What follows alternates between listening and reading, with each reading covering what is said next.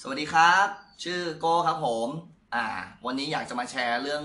เกี่ยวกับดวงตานะครับ ผมเนี่ยเป็นคนที่นอนดึกนะฮะ แล้วก็ชอบ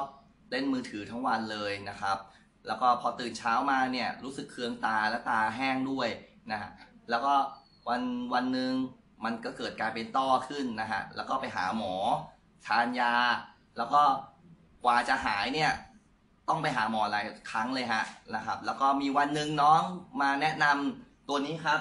เซลโก้ให้ลองทานดูครับ พอทานไม่ได้สักระยะหนึ่งนะฮะ รู้สึกตามันชุ่มชื้นขึ้นครับ แล้วทำให้รู้สึกอาการเนี่ยเบาบางลงทำให้ต้อตรงเนี้ยอาการจางไปเยอะเลยฮะ แล้วก็ตอนนี้ดีใจมากครับ ตอนนี้เซลโก้มาขายที่เมืองไทยแล้วนะครับนะฮะซื้อหาซื้อง่ายด้วย แล้วก็อยาก แนะนำเพื่อนๆลองทานดูครับ ทานง่ายอร่อยด้วย ขอบคุณครับ